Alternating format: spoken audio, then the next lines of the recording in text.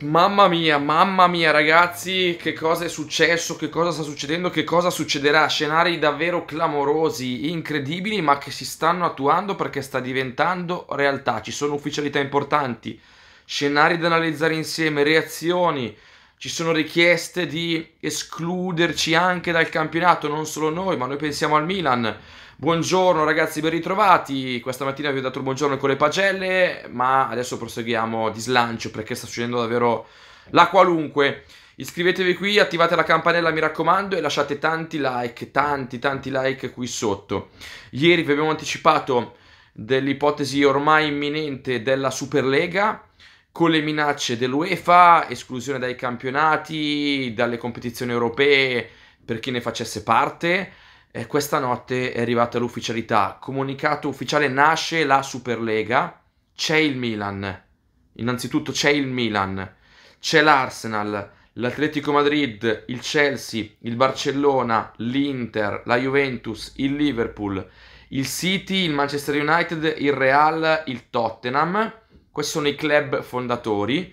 Sono 12. Se ne aggiungeranno 3, quindi si arriverà a 15 e questi club fondatori avranno sempre diritto accesso automatico a questa Superlega. Gli altri tre evidentemente sono alcuni club che stanno facendo la Champions League e hanno paura di essere estromessi.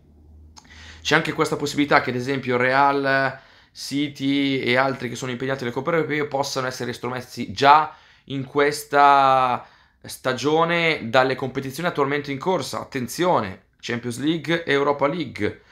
Eh, che cosa viene scritto? In futuro i club fondatori auspicano la via di consultazioni con UEFA e FIFA al fine di lavorare insieme cooperando. Sostanzialmente cerchiamo di metterci d'accordo. C'è questa Superlega. Nelle nostre idee non ci sarà più Champions League e Europa League.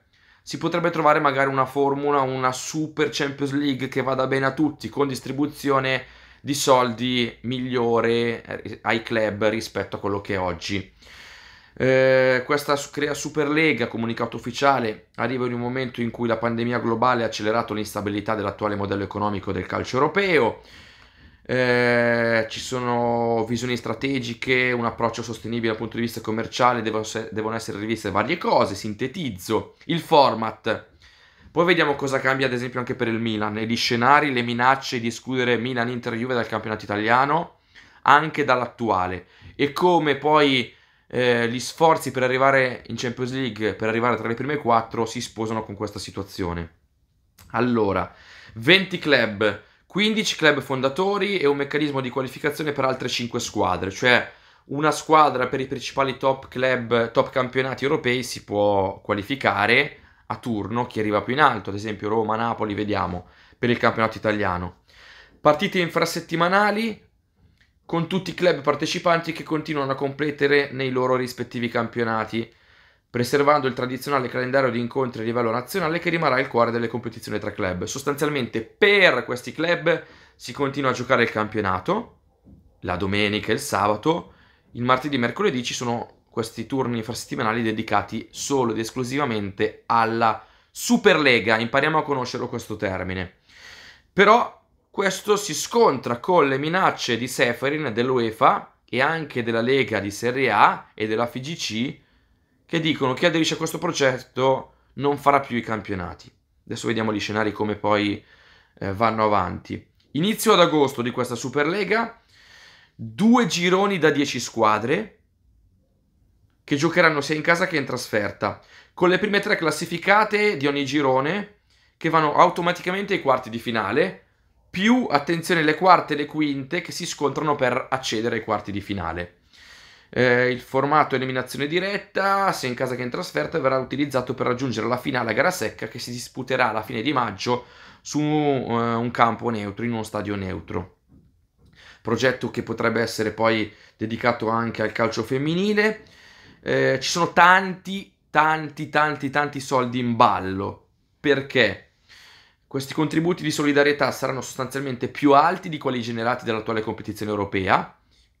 l'UEFA si tiene tanti soldi oggi, troppi, e si prevede che superino i 10 miliardi di euro durante il corso del periodo iniziale di impegno dei club.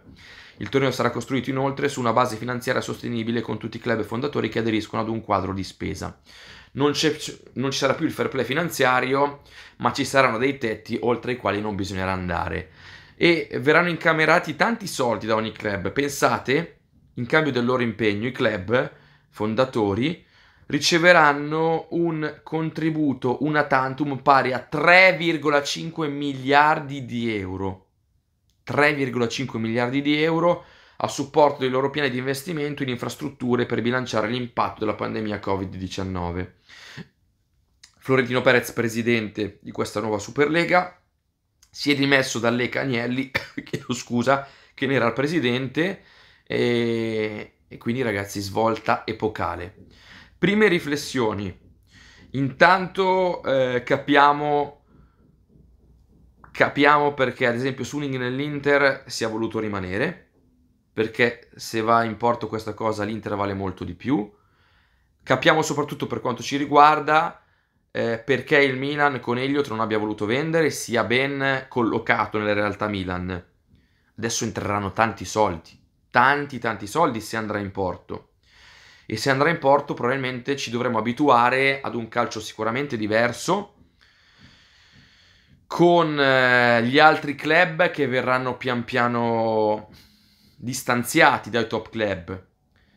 Principio democratico no, meritocratico no, scusate, però ricordiamo che quest'UEFA è un'UEFA che ha punito ad esempio il Milan, che ha fatto due pesi e due misure, che ha permesso al PSG al City di spendere, espandere con eh, sponsorizzazioni fittizie. In questo caso sarà necessario però capire eh, come verranno distribuiti i soldi anche tra i club esclusi per evitare che ci sia una disertificazione dell'extra Superlega. Attenzione perché ci sono i governi che possono avere una voce in capitolo determinante, possono utilizzare il pugno di ferro, qualcuno ha già minacciato e quindi provare a far saltare questo progetto.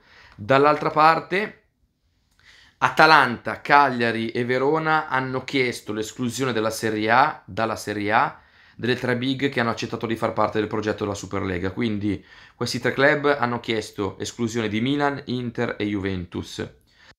Perso dunque una stagione di ricorsi, di avvocati, di tutto e di più. Attenzione davvero perché è qualcosa di clamoroso. Dall'altra parte rifletto ad alta voce e dico che se Milan, Inter e Juve fanno questo passo hanno degli elementi in più, hanno delle alleanze maggiori.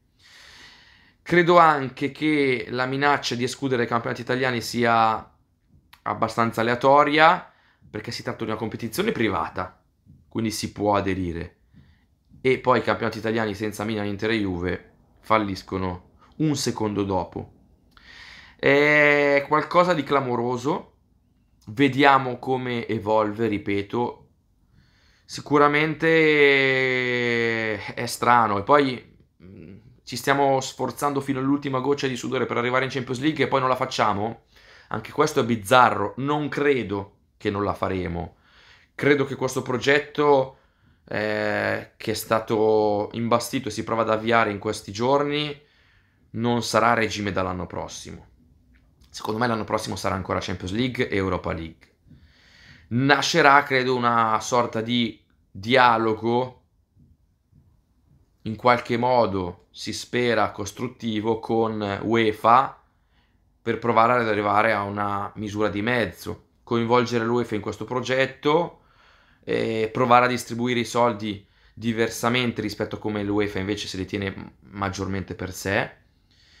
E insomma bisogna navigare a vista sicuramente una svolta clamorosa.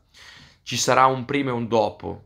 Un prima rispetto a questa notte, lo conosciamo, un dopo rispetto a questa notte che non conosciamo ancora e che sarà sicuramente un inedito. Personalmente sono un po' confuso, prima di esprimermi voglio metabolizzare, non è facile, come credo che anche per voi sarà così. Quali possono essere i benefici? Che intanto i club che in questo momento vivono una situazione difficile dal punto di vista economico avranno una ventata di soldi freschi e quindi non mi sentirete dire più probabilmente ma questo giocatore non ce lo possiamo permettere. Questa è un'idea primordiale. Dall'altra parte però penso al campionato, si gioca per lo scudetto e basta, nel senso eh, se tanto queste squadre vanno comunque in questa Superlega, arrivare ai secondi, terzi o decimi non cambia nulla. Quindi cala un po' lo spettacolo a livello di campionato italiano, questo sì. A livello globale, pensare di avere Milan-Manchester, eh, la settimana dopo Milan-Liverpool, poi andiamo sul campo del Real Madrid, questo diventa affascinante. Eh, qualcosa andava rivisto probabilmente nel meccanismo della Champions League, a livello di spettacolo è venuto un po' meno, ad esempio pensare che va in Champions League con tutto rispetto il Rubik Kazan e non ci va il Milan non va bene. Dall'altra parte però, ripeto, è una svolta clamorosa e va gestita, va toccata con cautela.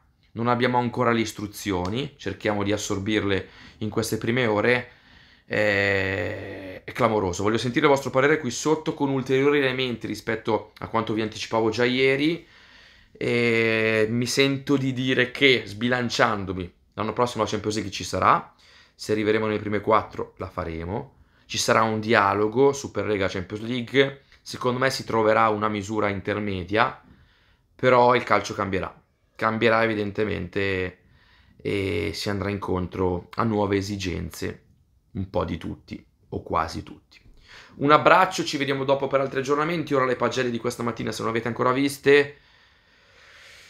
Mamma mia, ragazzi. Chissà, chissà. Sappiamo quello che lasciamo, ma non sappiamo quello che troviamo. Ma non è detto che quello che troviamo non sia meglio di quello che lasciamo. Forza Milan.